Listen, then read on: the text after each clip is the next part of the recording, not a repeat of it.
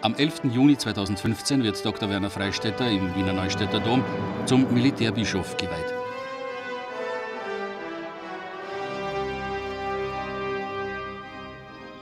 Der apostolische Nuntius, Erzbischof Peter Stephan Zurbriggen, zelebriert den Festgottesdienst.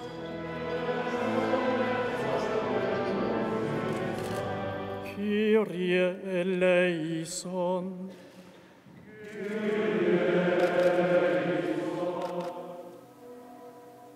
Der Bischofsweihe wohnen Kardinal Schönborn, Bundesminister Klug, Landeshauptmann Pröll, Generalstabschef Kommender und viele andere Würdenträger bei.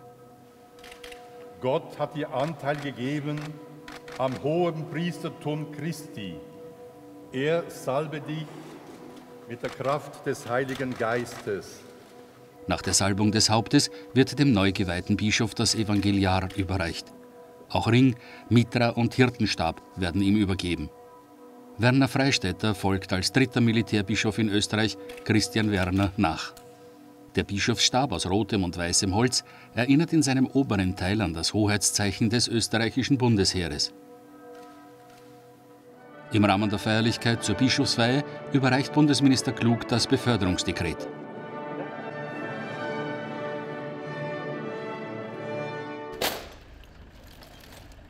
Zu Ehren des neuen Militärbischofs findet vor dem Dom ein militärischer Festakt statt.